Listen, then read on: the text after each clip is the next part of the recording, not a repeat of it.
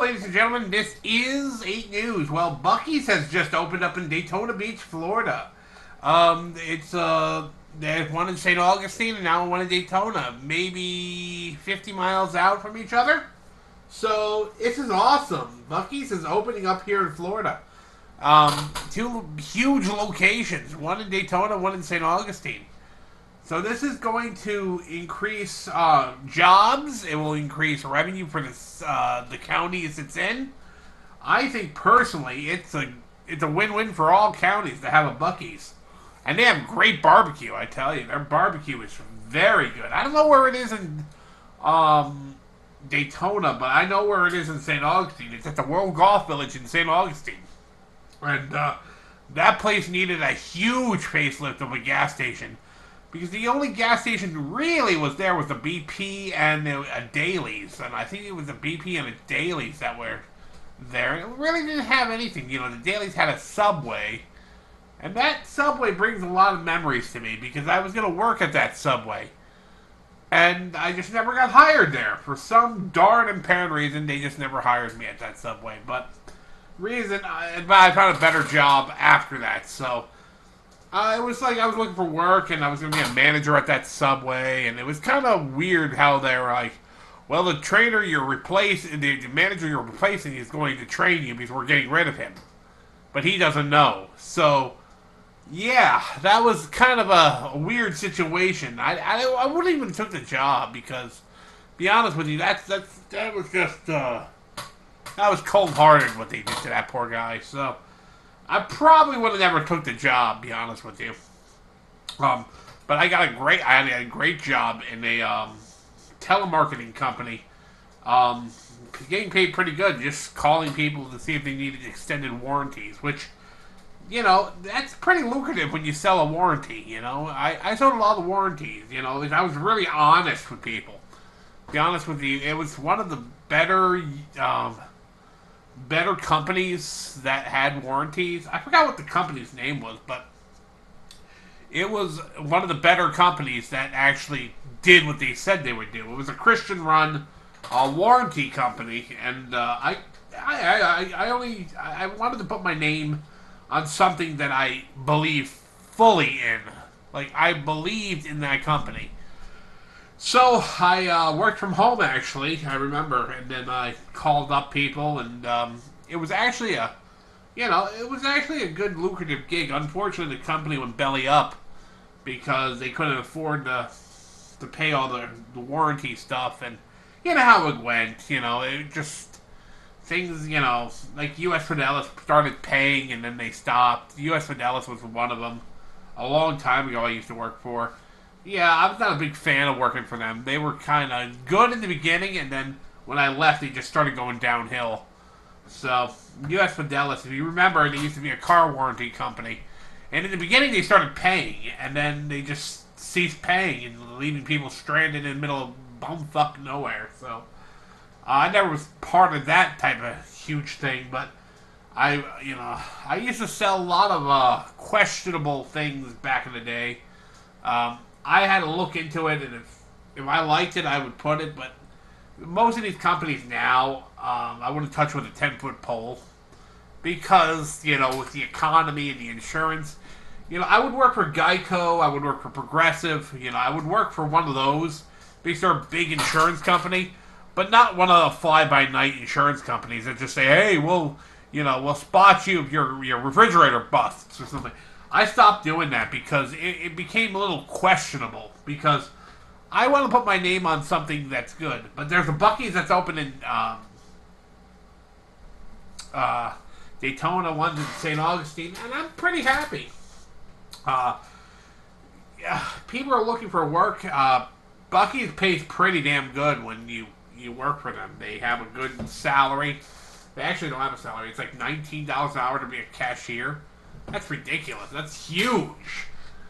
That, that's like life changing. Nineteen dollars an hour. Well, you may not think it is. As a single guy, with not a you know who lives in basically, I don't spend just to spend. I spend on what I need. So, to me, nineteen dollars an hour could have me save some money and live a perfect life in my mind. Nineteen dollars an hour I'm just single, so I have a dog and a cat. That's all I have. So really, nineteen dollars an hour would be perfect for me. To be honest with you, um, I'm not looking for that much money. I live in like you know I don't you know I live in within my means. I don't live to extraordinary levels. It's you know like I don't live in these ex- big mansions. My my whole house is only 650 square foot. It's a small house with two bedrooms. But I live here and I own it outright. So, you know, I, I, I love it, you know. It's um I don't really care on how you know, I had a lot of women in my life that came and gone and just said, you know, I can't live in a small house like that. And that's fine. That's their prerogative. But I am very happy and content for what I have, and uh, I'm very proud of what I have. And I'm, I'm content, and I'm not asking for anything else. I like small spaces, to be honest with you.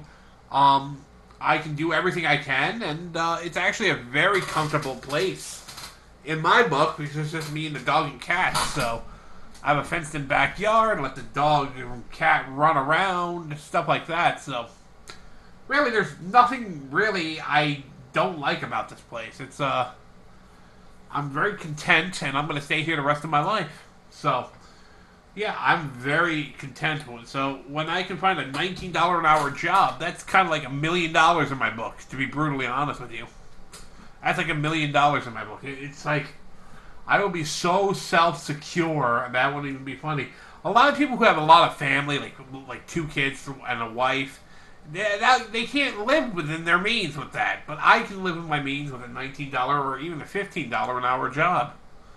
I could because I'm just a single guy, and I don't buy that much stuff, and I just uh, personally, I am very content in everything. You know, less is more, and more is less.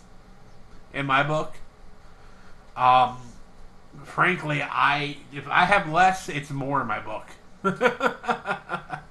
it's just like uh, I'm very content and I'm very humbled for what I have, and uh, a lot of people need to be humbled because if you're not humbled, then frankly, you should not be. Uh, you need to do some fact checking on yourself. And uh, if you can, if you can put your head down at night and put your head down on your pillow and say, you know, I did a wonderful job today. I do that every night. I, I think of reminisce today what I do, and I sit down and I ponder what I did in life or that day. And if I can say, I did wonderful, then you did wonderful. If you said, I did horrible, then you did horrible. But I never have a horrible feeling in my head. I always have a positive and what I could work on.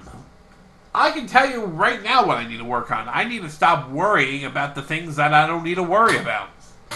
Maybe you have a problem that you don't, uh, you know, you worry about, I don't know, economic collapse. You can worry about that till the cows come home but it's going to happen. You know, why would you, you know, get all worried on something that's going to happen and you can't really fix it? So, I have a problem of fear, fear of you know a lot of that stuff. But maybe you should just put your mind into something else and um, try to try to get life because life is never going to really change, really. It's just going to be, well, that's happening, that's happening. But it's going to be like a norm kind of situation. How I've seen life all through my life is just like, like 2008 crash. The 2008 crash, it was like a normal day, to be honest with you. Yeah, people, people were just like, oh, this, this, they were just talking about it. But really, it was I never really seen with my own two eyes anything that you know really happened. You know, it was just like okay, I go into the store and there's less, little less people in the store, or I go to the store and it's just the normal everyday thing. So, really, I don't think. Personally, I think it's just gonna be like everyday norm I don't think it's going to be a other civilization collapse type of situation. I don't think we're at that point yet, but We could, but then you can't change that. So why would you get all bent out of shape? You know, you should just when it comes, it comes, and then you have to deal with it. But uh, you know, I always I'm always prepared in case if bad shit happens. Always prepare, but really, just you can do as so much as one individual. So you know, it's just I'm not telling you not to prepare. I'm telling you just to sit back, relax, and enjoy life as, as you can. And, you know, prepare and all that stuff. I, I don't tell people not to prepare. I always tell people to prepare for the worst and hope for the best. That's how I live my life. I prepare for the worst and hope for the best. And uh, if we live that mentality, prepare for the worst and hope for our best, we will see best times ahead of us. I'll talk to you later. Love you all.